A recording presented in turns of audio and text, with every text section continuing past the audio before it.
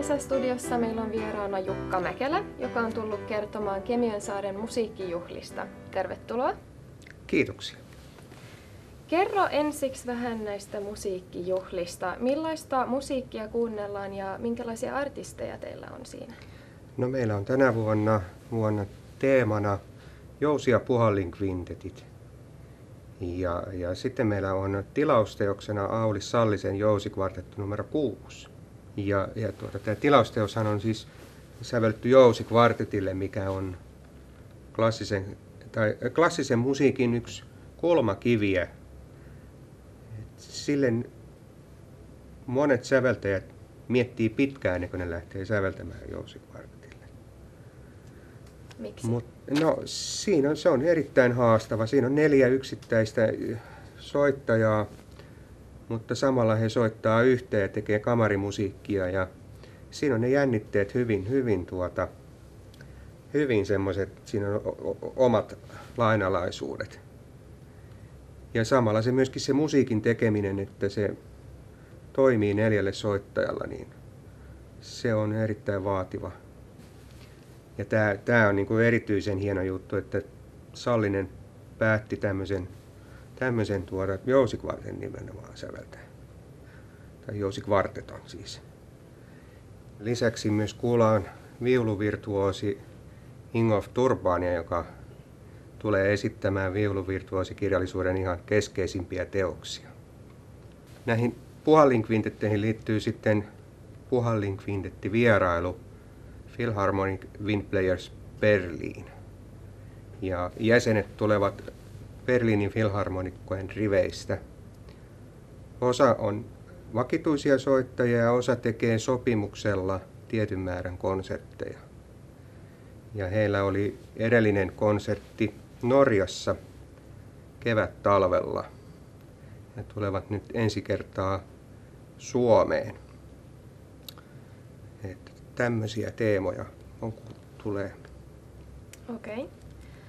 Tuleeko myös Aulis Sallinen olemaan paikalla?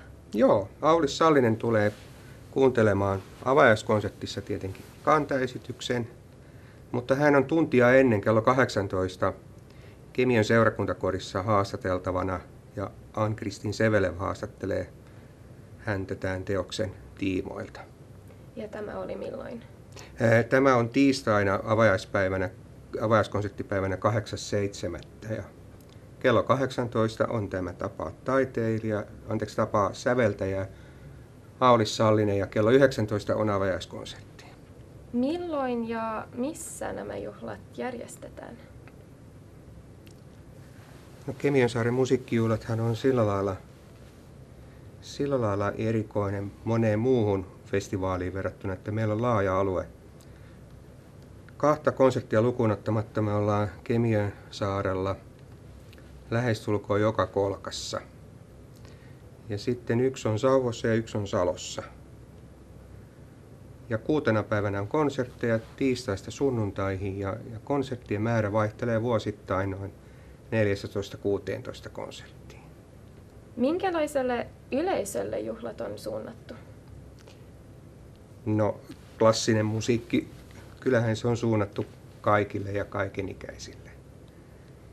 Mutta tietenkin siihen liittyy tämmöisiä ajatuksia, että, että jotkut ajattelevat, että se ei ole minulle ollenkaan, se ei sovi minulle, mutta kyllä siellä, siellä tuota, on, sanotaanko näin kärjistetysti, samat nuotit siellä kuin on missä muussakin musiikissa, ne on vaan vähän eri järjestyksessä ja eri lailla Joo.